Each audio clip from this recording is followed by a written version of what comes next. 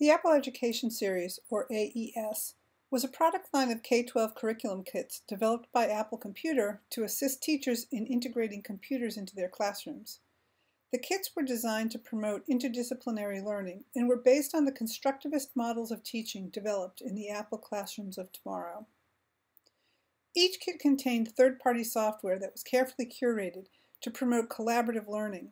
As one of the managers for this product line, I worked with educators from across the country to identify best practices for the areas of instruction covered by each kit, selected the most engaging software to meet those practices, and managed curriculum writers who developed model lesson plans for teachers.